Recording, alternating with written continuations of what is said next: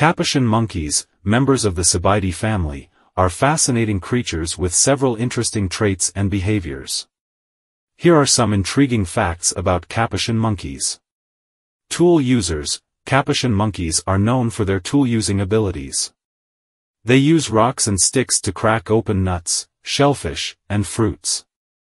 This behavior is a sign of their intelligence and problem-solving skills.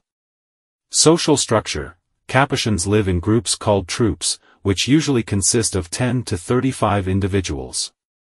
These groups are hierarchical, with dominant males leading the troop. Colorful appearance, capuchins typically have a distinctive appearance, with a cap-like crown of fur on their heads, which is where they get their name.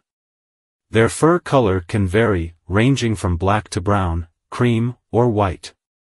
Diet, their diet is omnivorous, consisting of fruits, nuts, seeds, insects, and small vertebrates. Their ability to adapt to various food sources contributes to their wide distribution in Central and South America.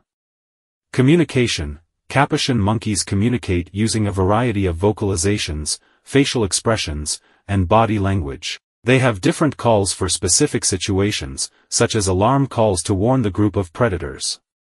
Intelligence, Capuchins are considered one of the most intelligent New World monkeys. They are quick learners and have been observed using complex problem-solving skills in the wild.